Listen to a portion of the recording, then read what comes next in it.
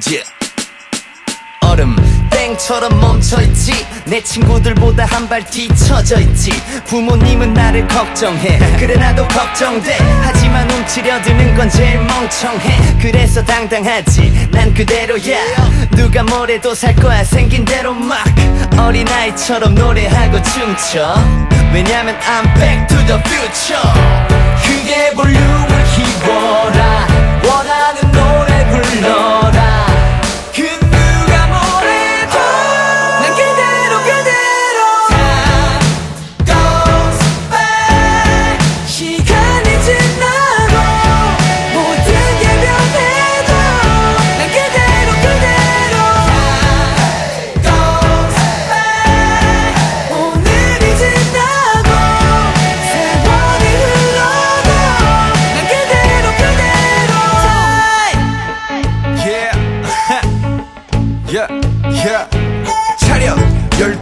열중샷 선생님께 경례. 가끔 그때가 생각나면 참 어렸었다며 친구들과 웃곤 하지만 그때와 난 똑같아. 여전한 건 주위의 걱정과 날 구속하려 드는 현실이란 벽 하지만 난 어린아이처럼 노래하고